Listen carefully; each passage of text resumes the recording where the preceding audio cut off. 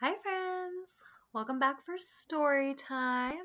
This is our last week, and we still have a good chunk of our book to finish up. So, there will actually be two story times this week. Um, so one will be today on Tuesday, our regular day, and then I'm still kind of figuring out when the next one will be.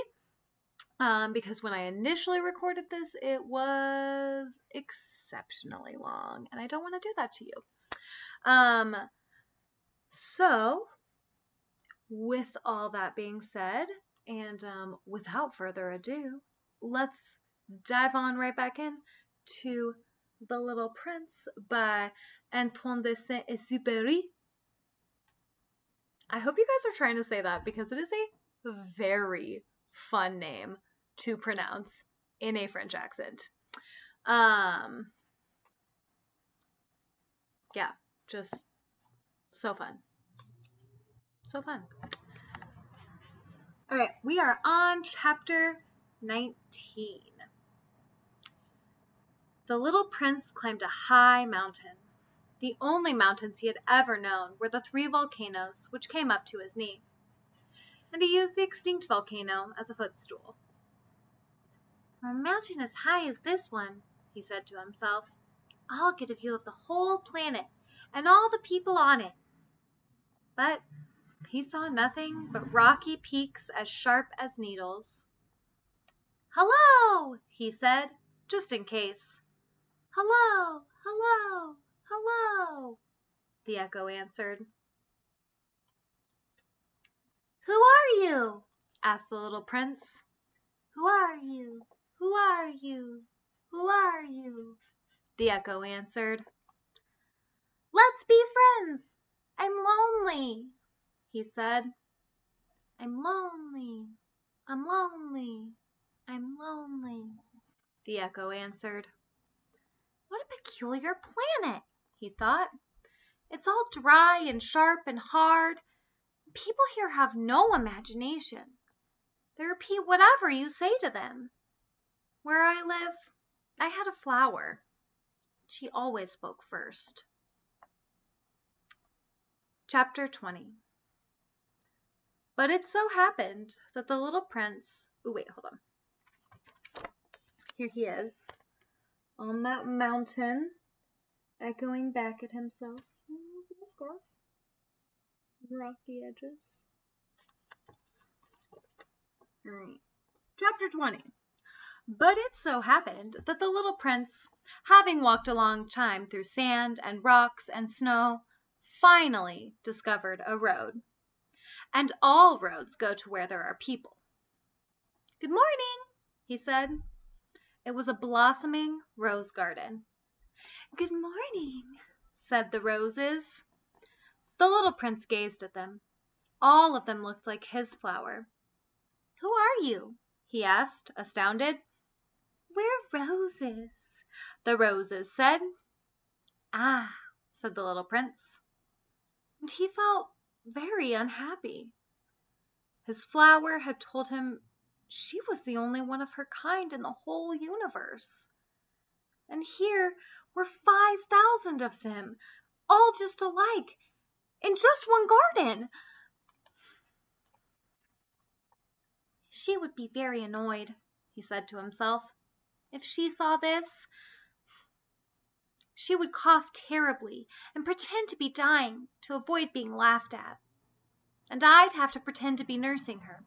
Otherwise, she'd really let herself die in order to humiliate me.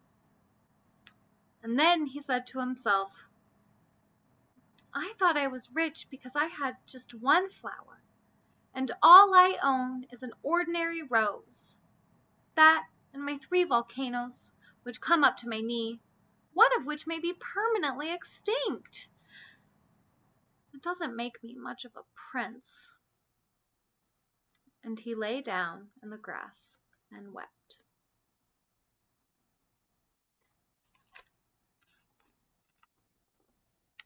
There's the roses.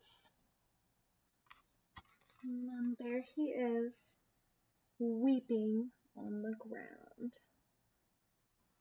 Weeping or wept is just another word for crying really intensely.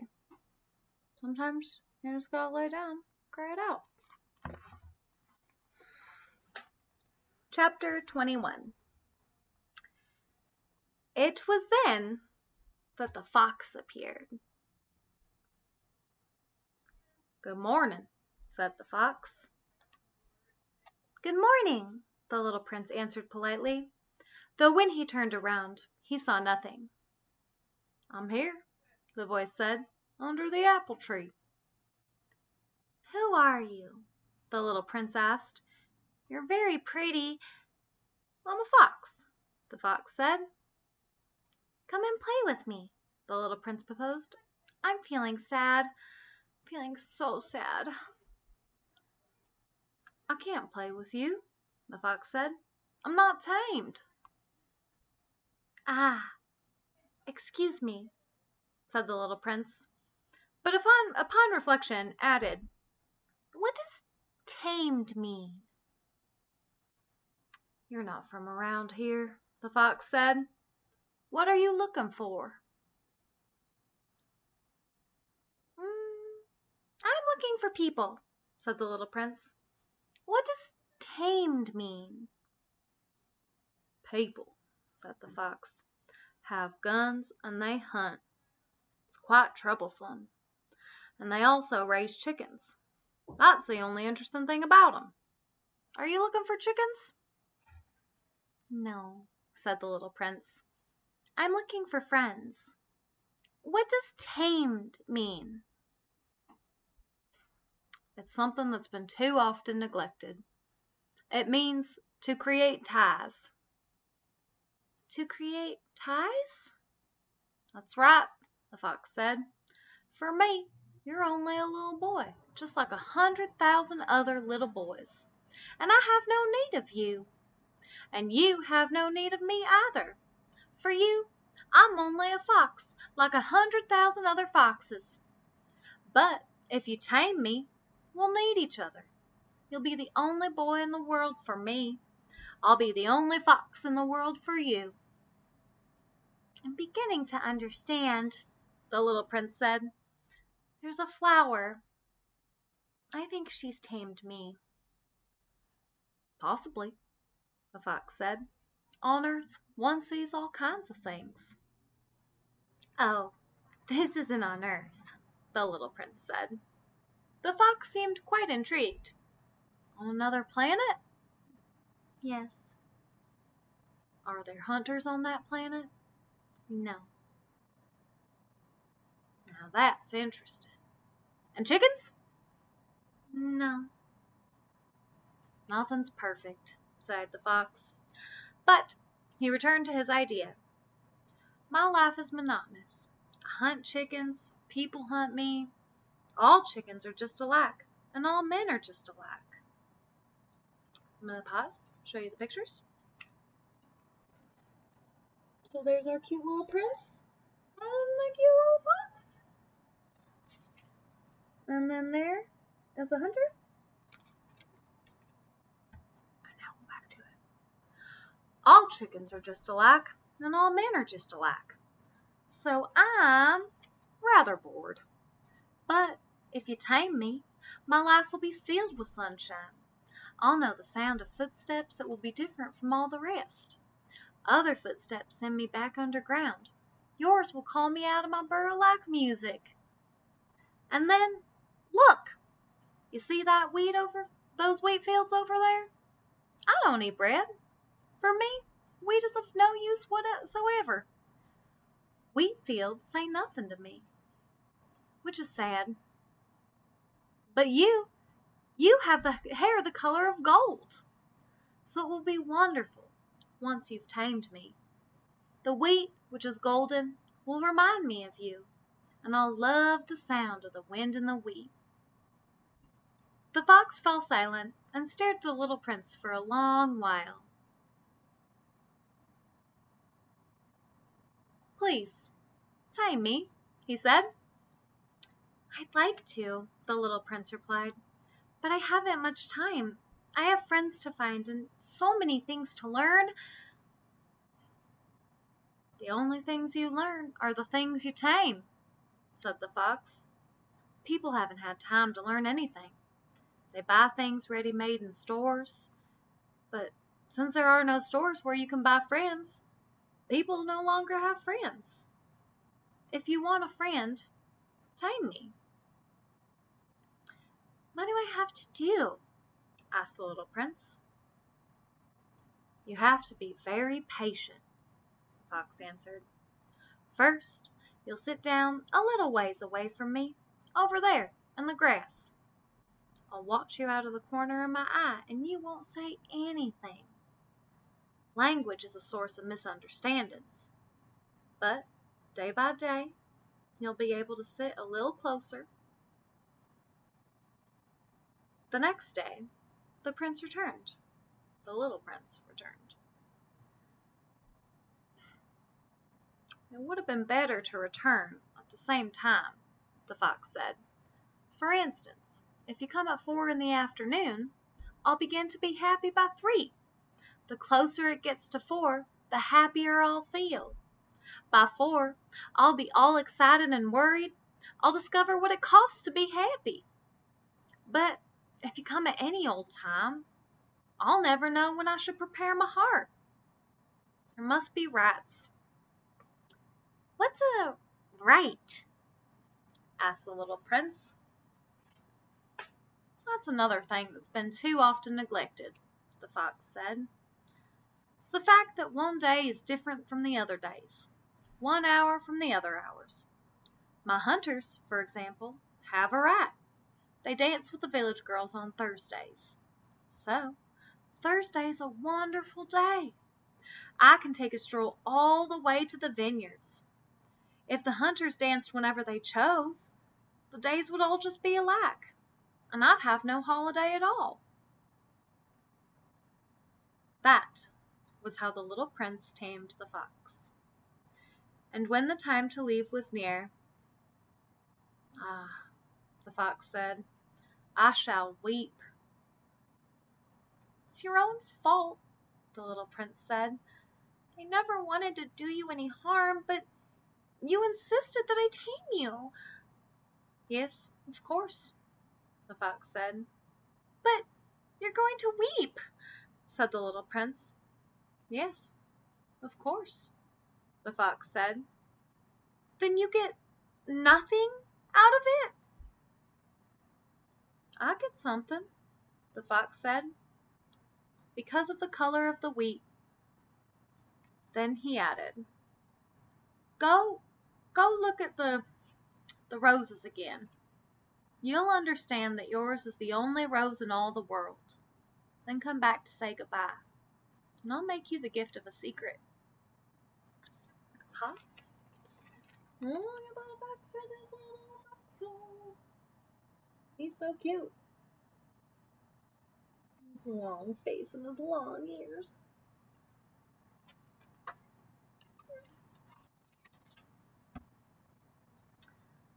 The little prince went to look at the roses again. You're not at all like my rose. You're nothing at all yet, he told them. No one has tamed you, and you haven't tamed anyone. You're the way my fox was.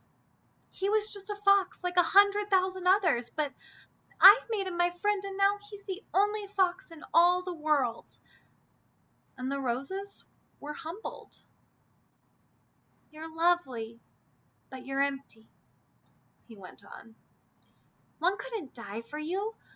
Of course, an ordinary passerby would think my rose looked just like you, but my rose, all on her own, is more important than all of you together, since she's the one I've watered, since she's the one I put under the glass, since she's the one I sheltered behind a screen, since she's the one for whom I killed the caterpillars, except the two or three for butterflies, since she's the one I listened to when she complained, or when she boasted, or even sometimes when she said nothing at all. Since she's my rose. And he went back to the fox. Goodbye, he said. Goodbye, said the fox. Here is my secret. It's quite simple. One sees clearly only with the heart. Anything essential is invisible to the eye.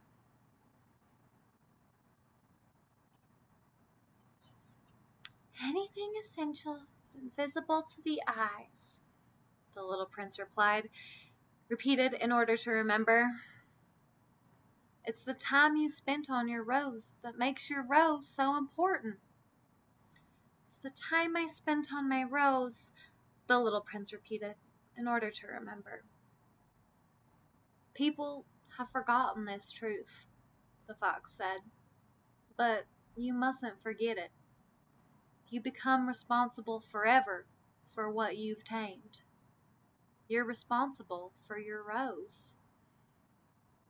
I'm responsible for my rose, the little prince repeated in order to remember.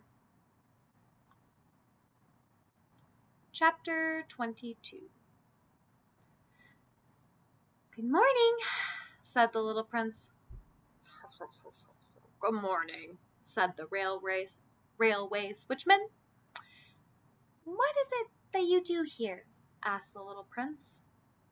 I sort the travelers into bundles of a thousand, the switchman said.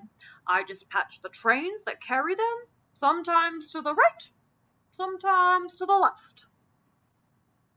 And a brightly lit express train, roaring like thunder, shook the switchman's cabin. What a hurry they're in, said the little prince. What are they looking for?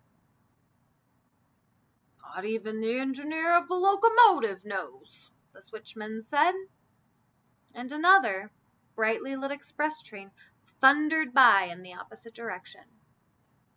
Are they coming back already? asked the little prince. It's not the same ones, the switchman said. It's an exchange. They weren't satisfied where they were? asked the little prince. No one is ever satisfied where he is, the switchman said. And a third, brightly lit express train thundered past. Are they chasing the first travelers? asked the little prince. They're not chasing anything, the switchman said. They're sleeping in there, or else they're yawning. Only the children are pressing their noses against the window panes.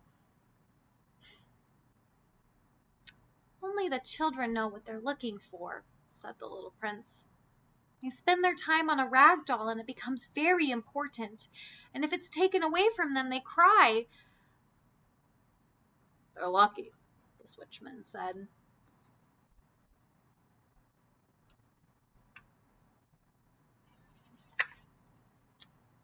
Chapter. 20, chapter 23. Good morning, said the little prince. Good morning, said the sales clerk. This was a sales clerk who sold pills invented to quench thirst. Swallow one a week and you no longer feel any need to drink. Why do you sell these pills? They save so much time, the sales clerk said. Experts have calculated that you can save 53 minutes a week.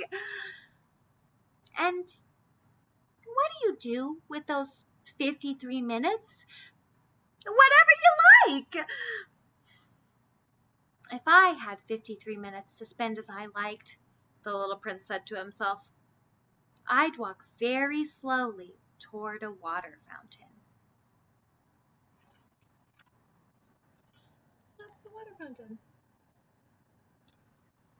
And that is where we're going to pause for our first section of Le Petit Prince by Anton Exupéry. De Saint-Exupéry. Really, give it a try. Try saying some things in a little freshy accent and enjoy it. All right, kiddos. I will see you later this week to finish up this book. I hope that you are enjoying it. We're getting close to the end. Um, get your Kleenexes ready because if that last little bit about the fox didn't make you cry, I promise You're going to need some Kleenex. All right, kiddos. Take care of yourselves. Take care of the people that you're with. Um, yeah, be good. I'll see you in a few. Bye.